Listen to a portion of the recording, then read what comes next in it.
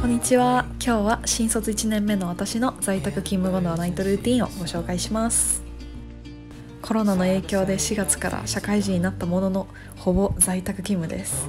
こんな感じでずっとパソコンカタカタしております。この日は仕事が早めに終わったので土手までウォーキングに行ってきます。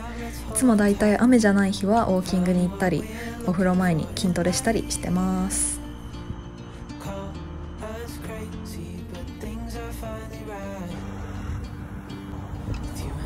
夕暮れ時の空が一番綺麗でずっと眺めてられますね。こんな感じで心と体をリフレッシュして家に帰ります。いつもだいたいお風呂先入るんですけどこの日はお腹空いてたので先にご飯作っちゃいます。今日はこの間スーパーで買ったこの春雨プルコギを作っていきます。できるだけ毎日自炊してるんですけど、まあ、コロナの影響で外出れないっていうのもあってあんまり料理上達なんかしないですね。いつも大体ワンパターンになっちゃってダメですね。なんか春雨スープとかばっか作っちゃいます。こんな感じでちょっと包丁もね手切りそうで怖いので練習したいと思います。あとは玉ねぎも入れていきます。玉ねぎとお肉はもう合わないわけがない2つなのでね。おちょっと猫の手にやってますね。でもなんか切りそうで怖かったんだよな。でプルコギパックに入ってたソースをこの牛肉に絡ましていきます。このソースめちゃくちゃ美味しかったです。これ本当はごま油があったらよかったんですけど私の家にオリーブオイルしかなくてオリーブオイル入れてます。でまず野菜を先にこんな感じで炒めていきます。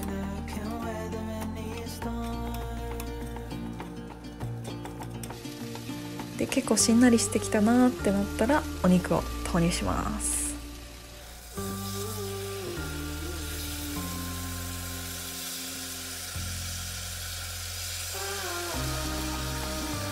お肉にだいたい火が通ったら水を入れます。で水はね 200cc って書いてたんですけどちょっと測りがなくて目分量で入れてます。でその後に春雨投入してます。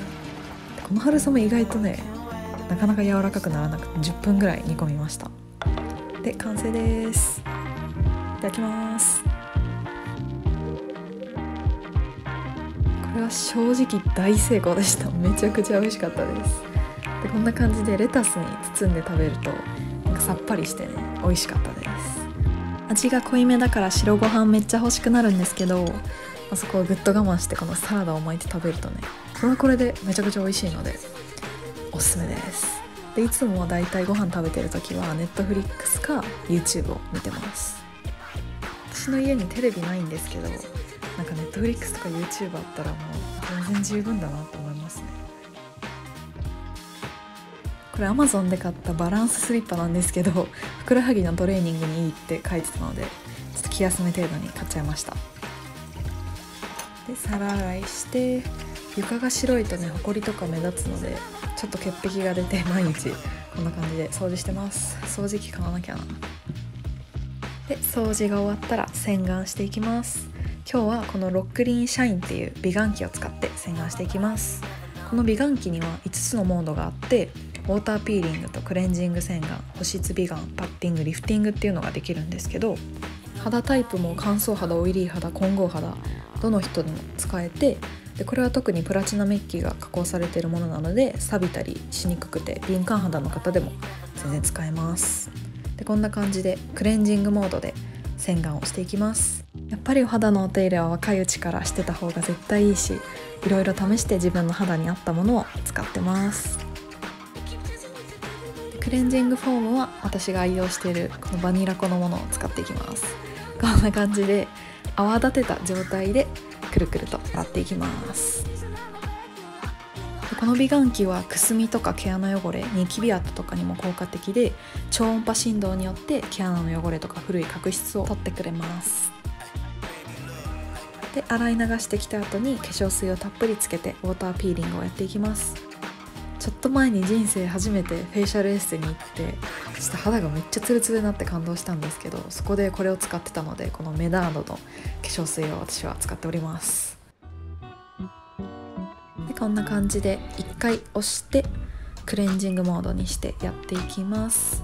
でこれは1週間に1回ぐらいやってるんですけどこれやった後に肌触ると本当にツルツルになってるのを実感します。こんな感じでボタンの向いてる方を上にして1箇所23秒ずつ置きながら内側から外側に向かってピーリングしていきます。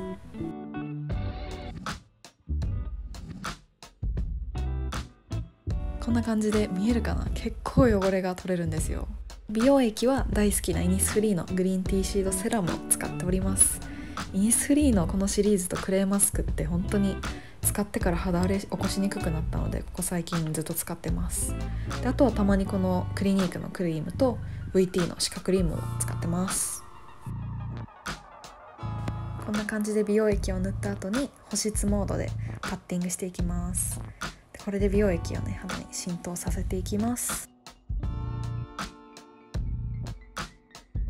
で最後にイニスフリーのクリームで蓋をしてスキンケア終了です。私は結構乾燥肌なのでこんな感じでねクリームを塗らないと結構乾燥してきちゃいますね。あと体にもボディクリームとたまにベビーパウダーも塗るようにしております。で髪の毛はドライヤーする前にヘアオイルをつけてるんですけどなんかパーマ当ててから髪がごわつきやすくなったのでこれ必須ですね。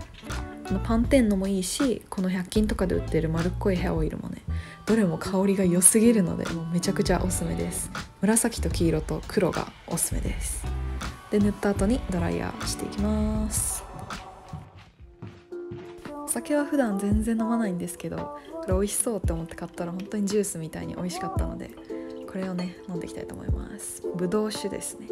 これを炭酸水と割っていきます。本当に果肉入りなんですよこれ。美味しかった。で暇な時はプロジェクターでプチ映画上映会をしております。高さ足りないんでちょっとティッシュの箱置いてるんですけど。カンドラと洋画を最近めちゃくちゃ見てて最近すごく良かったのがこのヒョリの民泊。元アイドルのヒョリと旦那さんがチェジュ島で民泊を開いてる。リアリティショーなんですけど本当に癒されるし和むしチェジュ島に行きたくなります。もう移住したくなります。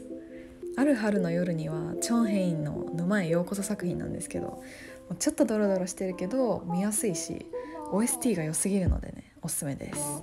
青い海の伝説は人魚のお話なんですけどなんかファンタジーすぎずすごく見やすかったしめちゃくちゃ切ないし女優さん綺麗すぎるしでもやっぱり一番好きなのはこの彼女は綺麗だったです。パク・ソジュンがかっこいいのはもちろんのことファン・ジョンウムさんもねキャラが最高で本当に元気もらえるしハッピーになれる作品です。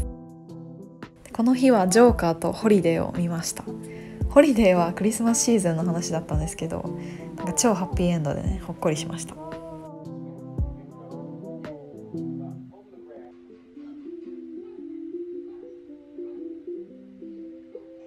最近ずっとパソコンと携帯見てても目が死にそうなのでこのあったかい石が入ったアイマスクを温めております。でこれはね蒸気でホットアイマスクの強力版みたいな感じです。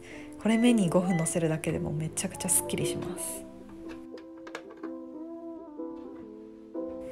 夜寝る時間はだいたい12時台には寝るようにしてて朝起きる時間は日によって違うんですけど最近は結構ね早く目覚めちゃうので8時台にかけてます。だからこんなアラームかけてる人いないですよね。やばいな。